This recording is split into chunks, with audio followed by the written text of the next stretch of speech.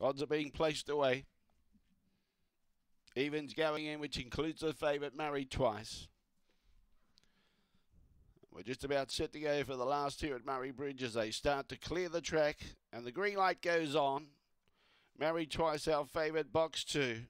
Set away, began well and is up there. Kenya Thunder, the other favourite, is getting up alongside of it. So side by side they go. Shrinking's out wide. Behind those, American Mustard at the tail. That's a problem. And Snow Superstar. Big battle here. Married twice, Kenya Thunder. Married twice. Too good for Kenya Thunder.